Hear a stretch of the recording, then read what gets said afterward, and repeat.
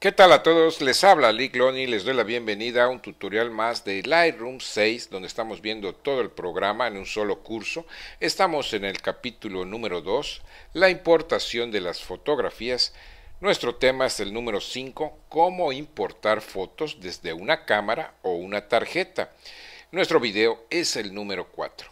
En el tutorial anterior número 3 vimos cómo importar nuestras fotos desde una carpeta. Para las personas que no han visto ese tutorial les invito a verlo, es el tutorial anterior, es el número 3 y mejor aún les pido que se suscriban. Yo les invito, es absolutamente gratis y en este momento está saliendo un botón para que ustedes le hagan clic y se suscriban al canal. El objetivo de que se encuentren suscritos es que formen parte de la comunidad de los canales de Ligloni donde tratamos todos los puntos relacionados con los programas de fotografía y video. Y cada semana podrán recibir un aviso de las nuevas publicaciones que se hacen sobre estos excelentes programas. Por lo tanto, háganle clic y suscríbanse. Muy bien, vamos a continuar. Como les comentaba, vamos a ver cómo importar fotos desde una cámara o tarjeta.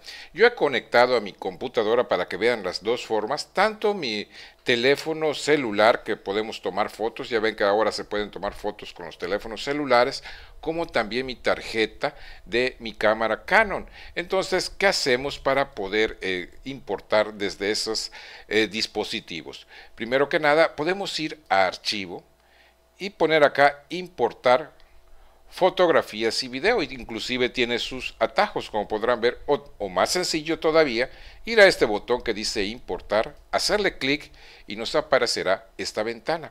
Como podrán ver, desde este momento me está diciendo que va a importar desde el iPhone de Loni.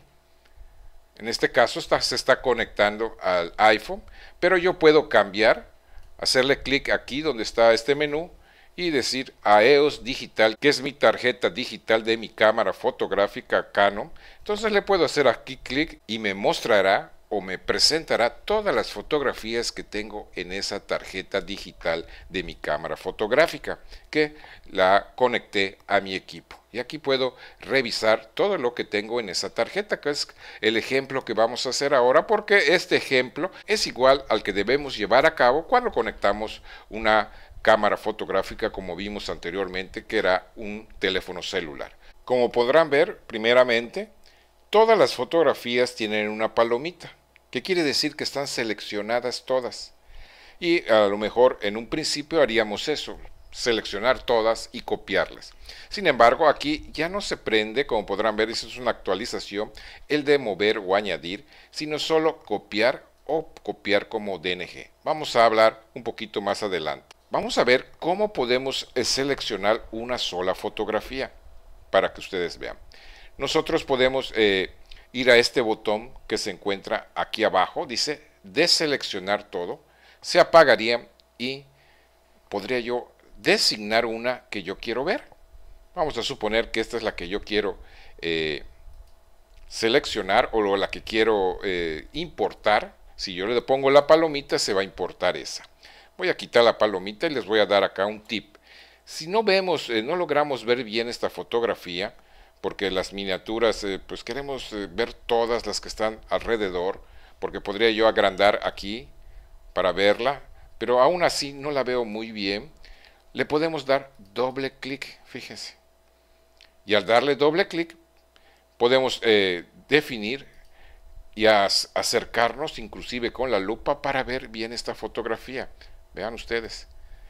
Doy clic, inclusive me puedo mover dentro de ella para revisar esta fotografía. Increíble este pavo real porque parece hasta una pintura y es eh, en realidad un pavo real que estaba caminando ahí por el hotel donde nos hospedamos para ir a las ruinas de Chichen Itza en Yucatán, México. Si nosotros queremos incluirla, podemos hacerle clic aquí y la incluiríamos. Es la misma palomita que aparece cuando estamos en esta posición donde vemos todas, fíjense ustedes.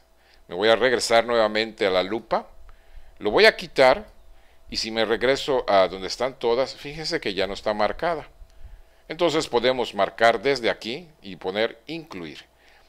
Si no estamos seguros de esta fotografía, vamos a suponer que no es esta la que quiero, podemos utilizar lo que es nuestras eh, teclas de eh, flechas que tenemos en nuestro teclado y pasar a la siguiente, fíjense. Y en cualquiera de ellas irlas eh, moviendo para ver qué fotografía es la que quiero yo eh, seleccionar. Si yo selecciono esta o quiero verla más de cerca, igualmente puedo hacerle un zoom y moverme en la fotografía. Me voy a alejar y, definitivamente la que me gustó fue esta. Es esta, porque me acerco y me gustó mucho la fotografía. Entonces le voy a poner incluir en importación. Me puedo regresar nuevamente a ver todas las fotografías. Aquí están los controles, aquí en el lado izquierdo, como podrán ver. Aquí cuando aparecen todos los cuadritos, eh, donde está mi mouse, es donde podemos regresar y ya tengo señalada una, que es la que voy a importar. Uno de los puntos más importantes es dónde la vamos a poner. Entonces, para no confundirnos, voy a cerrar todo esto porque quiero que vayamos detalladamente para que ustedes no se confundan. Por principio, ¿dónde la voy a poner? ¿En mi disco de Macintosh o hago clic acá y busco otro destino. Mi disco de Macintosh es donde está mi sistema y hemos visto en otros tutoriales que no es lo conveniente donde tener esas fotografías, entonces buscaría yo otro destino. Al hacerle clic me abre mi ventana para buscar el destino que yo quiero y en este caso buscaría yo captura y edición. Tal vez tenga yo un poco revuelto eh, mis fotografías porque pues constantemente estamos haciendo tutoriales. Me voy a ir al 2016. Esto fue tomado en mayo y le pondría yo acá tal vez eh, en mayo. Lo elegiría y crearía una carpeta nueva. Carpeta nueva donde pondría yo pavo real. Porque a lo mejor voy a poner más fotografías del pavo real ahí le pongo crear y le pongo elegir, que fue el mes de mayo cuando tomé esta fotografía. Entonces le pongo elegir. Y fíjese cómo ya cambió el icono que aparece acá. Ya dice que lo voy a guardar en captura y edición en, ahí lo dice aquí, 2016, mayo, en la carpeta de pavo real. Esto es muy importante para que siempre sepamos dónde van a estar nuestras fotografías. Todos estos pasos que hemos realizado hasta ahora los deben realizar también cuando tenemos conectada una cámara fotográfica u otro dispositivo que contenga fotos. Esos son los pasos esenciales. Como podrán ver, del lado derecho hay uno, dos, tres, cuatro menús aquí. Si abrimos el primero, dice Administración de Archivos. Dice crear previsualizaciones inteligentes, no importar supuestos duplicados, realizar una segunda copia en algún lugar o añadir a colección. No hemos hablado nada de colecciones, así que lo vamos a dejar eh, desconectado. El, punto de no importar supuestos duplicados es para evitar que ustedes, pues como dice eh, la frase, no importar supuestos duplicados y tengan eh, duplicaciones de fotografías. Entonces yo por lo general lo pongo siempre palomeado. Crear previsualizaciones inteligentes. Tampoco hemos hablado de esto, pero lo vamos a ver en un momento. Por lo pronto, pónganle, porque es muy conveniente, la palomita. En la parte de arriba dice crear previsualizaciones. Dice estándar, incrustadas y archivos SIDECAR mínima y uno a uno. Siempre les he dicho, y al menos a mí me ha funcionado, que lo dejen en estándar. Si abrimos los demás submenús, vemos que hay mucha información y sobre todo el último, fíjense ustedes cómo se cómo nos aparece todo esto, inclusive dice Macintosh, captura, archivo 2, porque este archivo 2 es otro disco duro que tengo conectado. Entonces, antes de complicarles esto, vamos a quedarnos hasta aquí para que eh, capten todo lo que hemos visto y vamos a continuar en nuestro siguiente tutorial número 5. Si ustedes consideran que esta información es de utilidad, les pediría que compartan este video para que más personas se vean beneficiadas con estos tutoriales que son gratuitos. Espero que les haya gustado este tutorial.